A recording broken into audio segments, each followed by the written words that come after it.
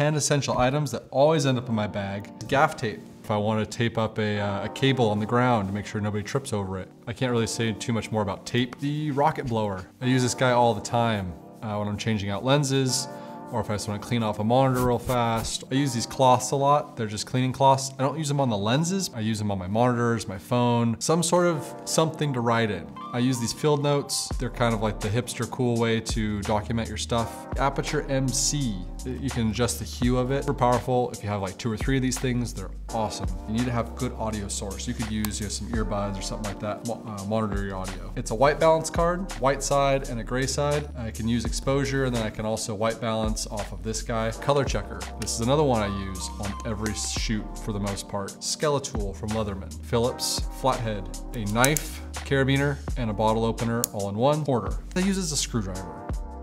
So with that said, that's my kit.